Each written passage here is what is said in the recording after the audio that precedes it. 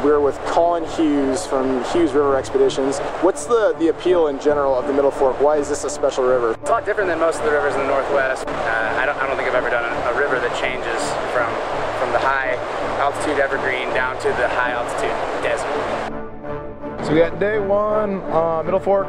We are probably about mile eight or nine, you think? Yeah, about nine.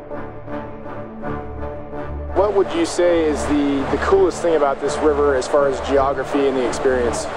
Really famous whitewater. Uh, Velvet Falls, Hell's Half Mile, um, you know, Sulphur Slide, uh, the chutes. A lot of big whitewater.